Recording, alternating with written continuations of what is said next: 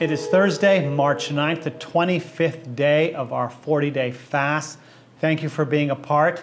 I'm going to read today what we call the Mac Daddy verse of revival in the Bible. Everyone loves these verses because of this. I'm going to read them for you here from Second Chronicles 7.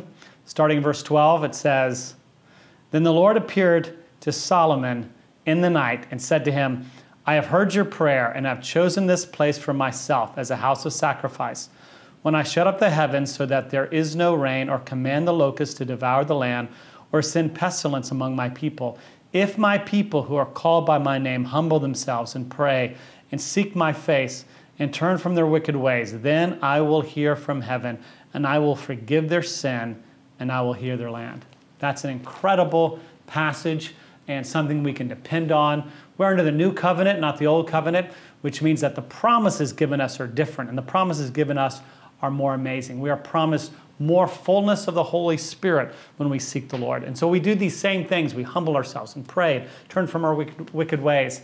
Uh, the Lord hears, the Lord draws close, and gives us Himself, His power, and presence of the Holy Spirit to change our communities, to change our nation, to change our families.